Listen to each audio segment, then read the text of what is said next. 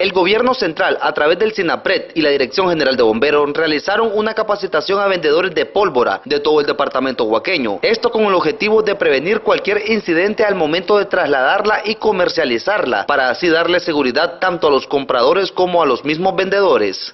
que todo establecimiento de venta tenga su extinguidor, tenga sus señalizaciones tenga además un, barril de 55 galones. ¿ah? Su manipulación también recomendamos de que sea efectuada por una persona adulta con conocimiento en esto.